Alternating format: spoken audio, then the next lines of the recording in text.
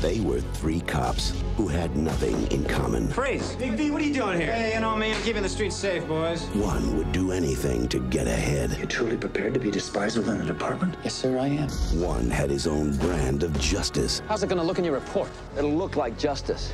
That's what the man got. And one loved the spotlight. What exactly do you do on the show, Jack? I teach Brett Chase how to walk and talk like a cop. The Night Owl Massacre. This is a heinous crime that requires swift resolution. Six victims. One of them, one of our own. Interrogations will be led by Lieutenant Edmund Exley. I need some backup. Come on. All right, college boy, I'll help. Now, all of them are faced with solving one case. Don't move! I want confessions, Edmund. Oh, I'll break them, sir. These people are all in the morgue. And someone has to pay for it. There's something wrong with the Night Owl. I just can't prove it. They thought they had it all figured out. Anything bothering you about the Night Owl case? The fact that you guys won't let it get filed away. I didn't kill nobody! But what started as a murder You talk only to me on this one. became a mystery that could cost them everything. Why was Susan Lefferts at the Night Owl? I don't know. I never heard of the Night Owl till today. How about some payback, big time? We need evidence.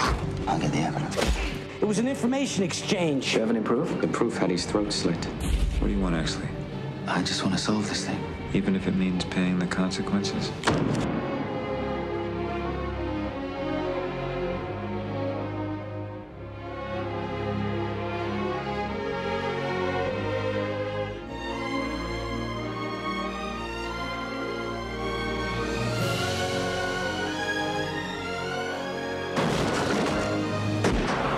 Academy Award winner Kevin Spacey, Russell Crowe, Guy Pearce, James Cromwell, Kim Basinger, Danny DeVito.